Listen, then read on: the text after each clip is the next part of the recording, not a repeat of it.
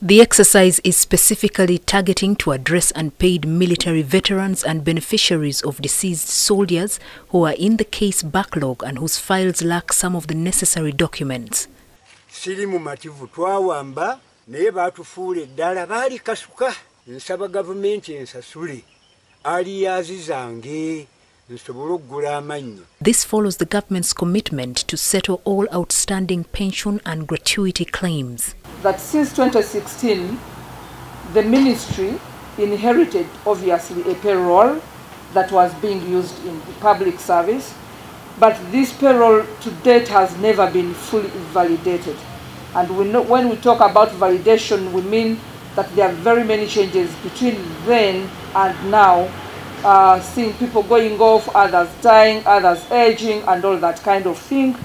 And now we want to validate this and understand who are the true beneficiaries, who are the people that should be paid. We want a clean payroll.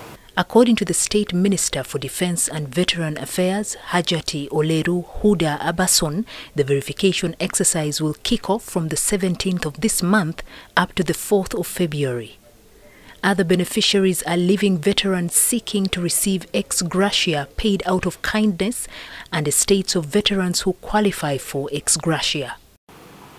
the government of Uganda, indeed under NRM, through the Ministry of Defense and Veteran Affairs, has always demonstrated enormous commitment to paying pensions and gratuity to the military veterans and their survivors.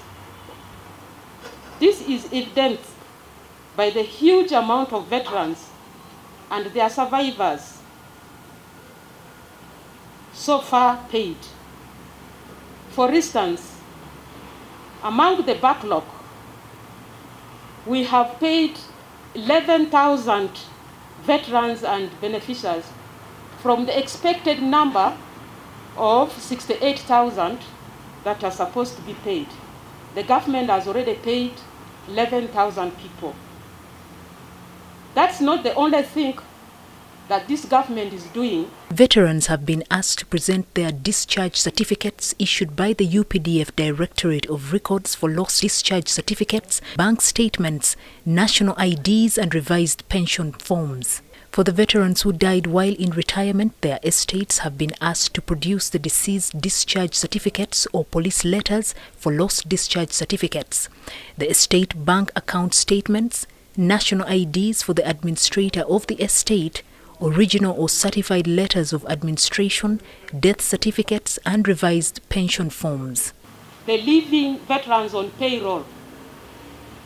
The requirements we need from this group are discharge certificate, in new certificate is- or in new certificate issued by the UPDF Directorate of Records for the lost discharge certificate.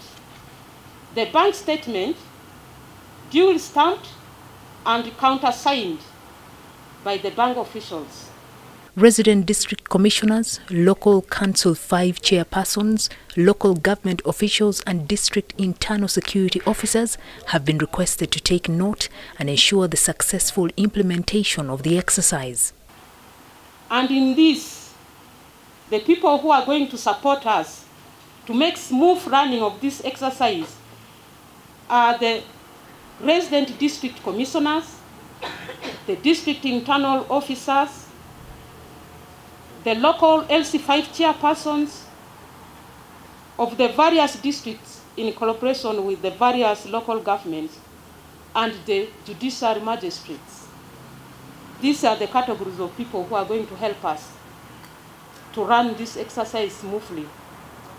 2016 Report by Jaliat Namawaya for the news. headquarter